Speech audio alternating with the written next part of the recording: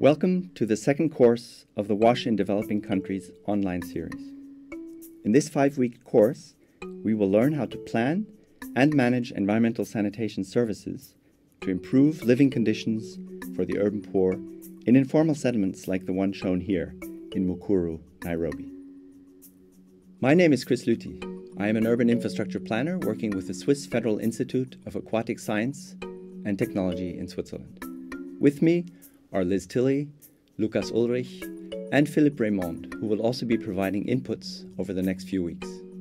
We also have a special guest with us from London, Dr. Jonathan Parkinson.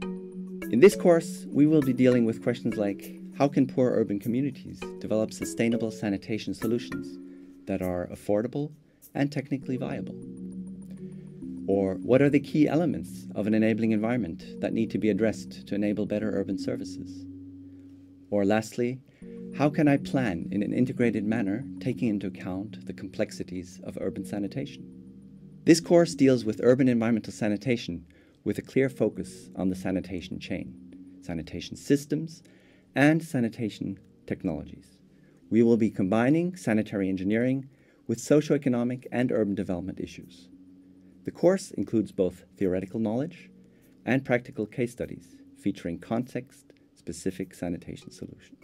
At the end of this course, you will have a clear understanding about the sanitation systems approach, how different technologies along the sanitation chain are linked to each other, like the one shown here, between a toilet, the collection and storage, the transport and conveyance of the sludge, the treatment, and finally the use and or disposal.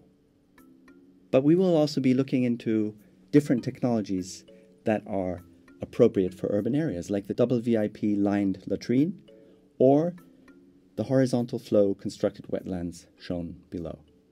You don't need a master's in civil or environmental engineering but some general background in environmental or civil engineering, urban planning, or geography would be helpful.